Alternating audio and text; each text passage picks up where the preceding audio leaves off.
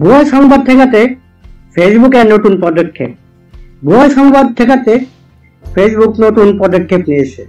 প্রতিবেদনগুলোর যাচাই করার পর প্রাপ্ত ফলাফল অনলাইনে প্রকাশ করবে বলে সিদ্ধান্ত নিয়েছে। নিজেদের প্ল্যাটফর্ম থেকে ভুয়া সংবাদ ছড়াতে সামাজিক মাধ্যমগুলো যথেষ্ট পদক্ষেপ নিচ্ছে না, এমন সমালোচনার মুখে নতুন এই পদক্ষেপ নিচ্ছেন বিশ্বের সবচেয়ে বড় সামাজিক যোগাযোগ মাধ্যম ফেসবুক সেই সঙ্গে চারটি দেশে নতুন কিছু বিচারও চালু করেছে এই প্রতিষ্ঠানটি এগুলোর মাধ্যমে সমস্যা রয়েছে, এমন বিভিন্ন প্রতিবেদনের বিকল্প লিঙ্ক প্রকাশ করবে।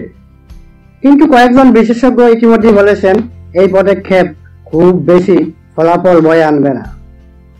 দু হাজার ষোলো সালে অনুষ্ঠিত মার্কিন প্রেসিডেন্ট নির্বাচনের পর থেকে এই ভুয়া সংবাদ সরানো নিয়ে সমালোচিত হয়ে আসছে ফেসবুক। চলতি বছর মে মাসে ফ্রান্সের প্রেসিডেন্ট নির্বাচনে এই ভোটাররা প্রচুর ভুয়া সংবাদ পান। ফেসবুকের নিউজ পেডের পণ্য ব্যবস্থাপক সারাসু বলেন, যদি একটি প্রতিবেদনের সত্যতা যাচাইকারীরা যাচাই করেন এবং হয়তো মূল পোস্টগুলোর নিচে সত্যতা যাচাই করা প্রতিবেদনগুলো দেখতে পারব। এক মুখপাত্র পরে নিশ্চিত করে বলেন, এই প্রতিবেদনগুলো ভুয়া সংবাদগুলোর বিরুদ্ধে সরাসরি কোনো জবাব নয়।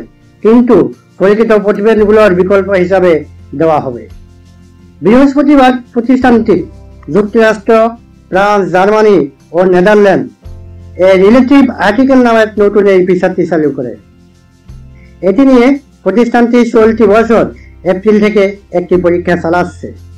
এটি জনপ্রিয় বা সন্দেহজনক প্রতিবেদনগুলোর নিচে এই সংক্রান্ত অন্যান্য সংবাদ প্রতিবেদনগুলো ব্যবহারকারীদের আরও ধারণা ও বাড়তি তথ্য প্রদান করবে।